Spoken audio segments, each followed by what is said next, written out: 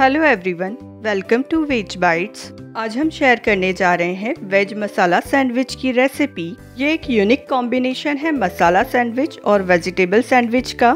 तो चलिए, इसे बनाना शुरू करते हैं. वेज मसाला सैंडविच बनाने के लिए हमें चाहिए प्याज, ककड़ी, आलू और टमाटर. इन्हें हमने स्लाइस करके लिया है. साथ ही हम ले रहे हैं प्रोसेस चीज़ जिसे ग्रेट कर लिया है. थोड़ा सा टोमेटो सॉस और ग्रीन चटनी। ग्रीन चटनी कैसे बनानी है, इसका वीडियो हमने पहले शेयर किया है। उसकी लिंक मैं डिस्क्रिप्शन बॉक्स में डाल दूँगी। आप वहाँ से देख सकते हैं। सैंडविच के लिए मैंने ली है वाइट ब्रेड आप चाहें तो ब्राउन ब्रेड का भी यूज़ कर सकते हैं। साथ ही लिया है बटर इसके साथ ही मैंने उबले हुए आलू का मसाला तैयार किया है। इसके लिए मैंने आलू में नमक और हल्दी मिलाकर थोड़े से ऑयल में जीरा डालकर इसे फ्राई कर लिया है। अब सबसे पहले सभी ब्रेड स्लाइस पर हम बटर स्प्रेड कर लेते हैं। बटर की क्वांटिटी आप अपनी लाइकिंग के अकॉर्डिंग कम या ज़्यादा कर सकते हैं और यहाँ पर सॉल्टेड या अनसॉल्टेड किसी भी बटर का यूज़ कर सकते हैं। इसके बाद दो ब्रेड स्लाइस पर हम अप्लाई करेंगे ग्रीन चटनी। अब इस पर डालते हैं उबले हुए आलू का मसाला, जो हमने बनाकर रखा था। इसे ब्रेड स्लाइस पर स्प्रेड कर लेंगे।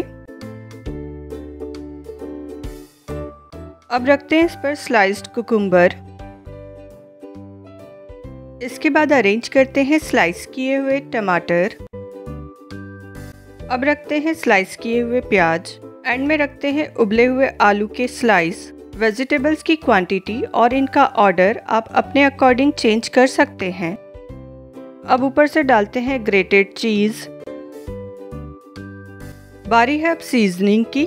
स्प्रिंकल करते हैं इस पर कुटी हुई काली मिर्च। इसके बाद डालते हैं थोड़ा सा चाट मसाला। अब डालेंगे थोड़े रेड चिली फ्लेक्स। स्प्रिंकल करेंगे हल्का सा सॉल्ट। अब बची हुई दोनों ब्रेड स्लाइस पर लगाते हैं टोमेटो सॉस।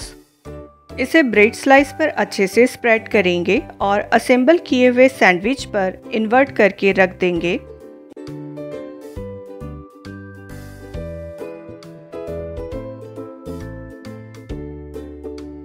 अब फ्लेम ऑन करके रखा है एक तवा। इस पर स्प्रेड करते हैं थोड़ा सा बटर।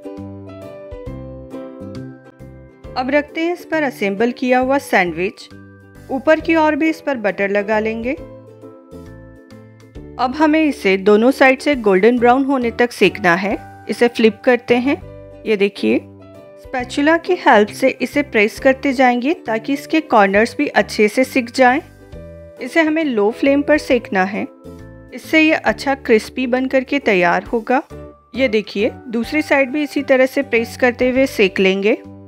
रेडी है सैंडविच, निकाल लेते हैं इसे प्लेट पर। अब इसे इस तरह से दो पार्ट में कट कर लेते हैं। अब करते हैं इसकी प्लेटिंग